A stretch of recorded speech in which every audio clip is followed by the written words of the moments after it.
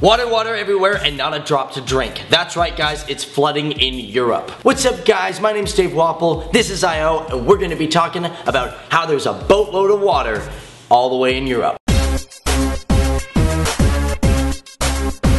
So some of you guys who haven't been really paying attention to the news, that's okay, we got you covered. I'm talking about dams busting, I'm talking about dikes busting, we've got cars being consumed by water. So where is this happening exactly? Well, reports are saying that Germany and Czech Republic have suffered the most damage. How is this happening? Was there an earthquake that caused a tsunami or anything like that? No, this is all happening due to the fact of really super heavy rainfall.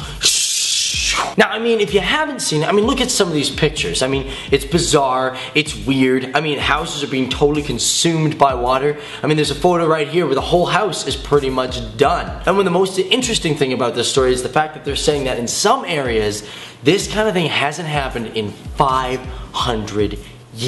So like I said, this sort of thing really hasn't happened in a long, long time and the damage is extensive. So how much damage are we talking here? Are we talking thousands? Are we talking millions? No, we are talking 6.5 billion dollars.